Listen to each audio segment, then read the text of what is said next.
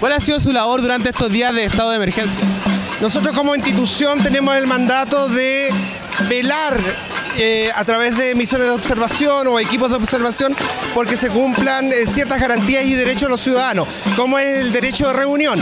Ahora estamos en una situación de excepción por lo tanto también nuestra misión es que el carabineros y la fuerza pública, estando en una situación de emergencia, cumpla con los protocolos internacionales de respeto a los derechos humanos. Por lo tanto, la excepcionalidad no excluye que no se cumpla esa, esa responsabilidad. Y nosotros velamos, subimos a los carros policiales, asistimos a las comisarías, eh, tenemos las denuncias por eh, distintas situaciones como, eh, qué sé yo, golpes, balines, en general todo tipo de daño que un ciudadano pueda tener. Y es- a través de la página web del INDH hay un banner que es denuncia.indh.cl. ¿Ya? ¿Y esta denuncia ha sido por a civiles y a gente uniformada?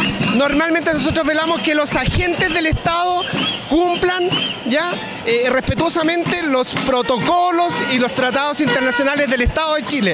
Nosotros velamos que la fuerza pública y el ejército respeten los derechos humanos ya de cada ciudadano en este país y en el espacio legítimo de protesta.